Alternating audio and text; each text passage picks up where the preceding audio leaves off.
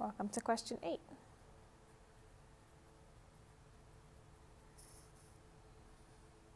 Let's get a little bit more complicated. Let's say I have something like this. 3 a squared b, and everything inside these parentheses is to the third power. Okay, again, we just want to, if we understand what this means, then we can figure out how to simplify it. So this means inside the parentheses I have 3 times a times a times b. And if that's all to the third power, then I'm taking that and I'm multiplying it by itself three times. So what does this equal? Well, I start with 3 times 3 times 3. Okay, 3 times 3 is 9, times 3 is 27. Oops.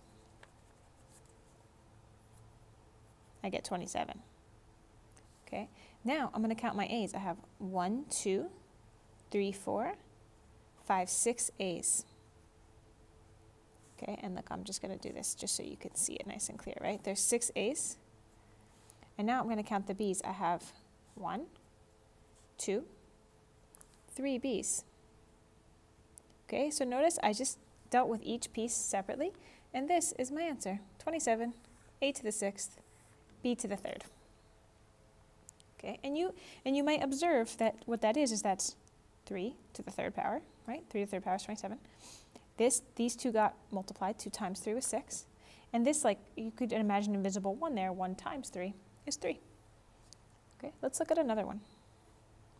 Okay, and here's where, yes, the problems are getting longer, but the key is just be careful, write it out the long way, and don't miss anything when you're counting. Okay, what about something like this?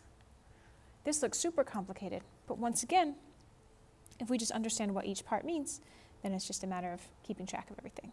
So this is 5 times x times x times y times y times y times. Now look, this piece, this piece in parentheses is squared. That squared applies to this set of parentheses. So this is going to be 4 times x times y times y. That's what's inside here, right? Because it's y squared. But that is being squared. That is being multiplied by itself twice. Okay, so now I'm ready to multiply through. Same deal as before. I'm to do 5 times 4, that's 20, times 4, that's 80. Now I'm to count the x's. One, two, three, four x's. x to the fourth. Now I'm to count the y's. One, two, three, four, five, six, seven, eight. Eight y's.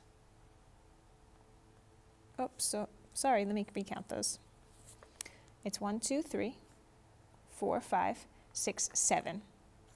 Sorry about that. And here is my answer. Okay? And here, are there shorter ways to do it? Mm, kind of. Like you could distribute this in first and then, but if you just are always comfortable writing it out, then that'll work every time. Let's do one more. Now here, what's tricky is I'm throwing a negative number in there. So we just have to remember what happens when we multiply a negative times a negative, right? So this is negative 4 times n times n times p to the third power. So negative 4 times n times n times p, negative 4 times n times n times p. Okay, so here's the, the part that's kind of new. A negative times a negative is a positive. So negative 4 times negative 4 is positive 16, right? So multiply, multiply, that's times positive, this is positive 16 times negative 4. So now positive times a negative is a negative, and 16 times 4 is 64. Okay, so now just be careful. Now let's say this was to the fourth power, then it would be, then I'd have another negative times a negative. Then it would become positive again. So you just need to carefully go through step by step. Okay, and then here I have one, two, three, four, five, six ends, and one, two, three p's. And there it is. Okay, you're going to try some problems similar to this in Edulastic right now. So we'll set you up with number 9,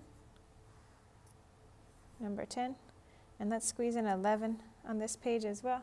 You might even have more space on this page, but I'm going to need to go to the top of the next page for, um, for number 12.